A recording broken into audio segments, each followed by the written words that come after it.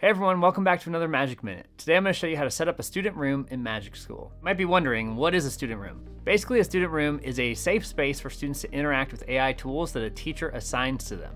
As students interact with the tools, the teacher can moderate the entire conversation and gain powerful insights into what their students understand based on those conversations. Let's dive in and set up a student room together. Okay, to get started, I'm gonna go to the left side of my screen and I'm gonna click on Magic Student. From this page, teachers can explore all the different tools that could be available to students. Then as a teacher, you will choose which tools you want your students to have access to at any given point. When you go to the left and click on Rooms, this is where you'll see all the previous rooms that you've created.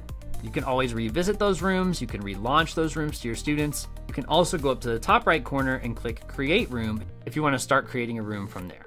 But for this video, I'm going to show you how to create a student room from the Student Tools dashboard. So once you pick a tool, it's going to open up this window that allows you to fill out the tool's details and instructions. So on the left is where you'll actually fill out all the fields for your customization, and on the right is the preview of the tool. Now, one thing I want to point out before you customize this tool for your students is you can preview with an exemplar. So basically what that will do is pre-fill the fields with prompts. So it gives you a great example of what types of prompts you could use with this tool. And it also gives you an example of what types of outputs the students would see. All right, let's get back to building the student room. So to save time, I'm gonna actually go down to the bottom and click on use template, which is a really handy tool to know. So let's say you build this really awesome tool and you wanna save it, you can always click save template and use it again later. Little extra tip. So I'm gonna click use template and I'm gonna pull up the persuasive essay template that I've already built before. Here you can see I have, this is my rough draft writing feedback tool for students to get feedback on their rough draft. I left it as ninth grade. I have my description. I also have the rubric that I want the AI to score with. And for this, you would just click the add file dropdown and then you can upload any type of rubric that you would like the AI to reference. At the bottom, you also have these additional fields. Here, you can let the AI know a little bit more about what the learning objective or the goal of this chat is going to be. You can also give additional instructions. Maybe you want the AI to only allow the students to submit their work one time rather than multiple times. You can put that in the additional instructions.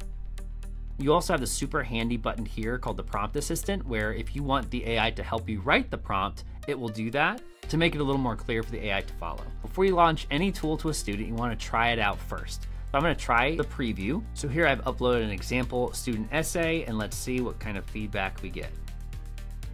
Okay, so let's say you've tried this tool several times and you like the way it works. You can then simply share that tool to your students by clicking Save to Room. But before I do that, maybe I wanna add one more tool to this room for my students to use.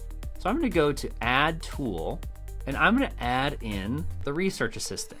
Now you can see I have two tools in this room and I can always toggle back and forth between the two. And if I'm happy with these tools and I feel like they're ready for students to use, I would click Save to Room here I can name a new room, or I could even add these tools to an existing room that I've already used in the past. But for this video, I'm gonna just make a new room. Now from here, I can share the link to this room, put it in Google Classroom, or give my students a QR code to access it. And that's all it takes to set up a student room for your students. If you still have questions about how to use Magic Student with your classroom, feel free to ask us in the comments below. Also, make sure you hit the subscribe button so you don't miss any of our future videos. Thanks for watching, we'll see you next time.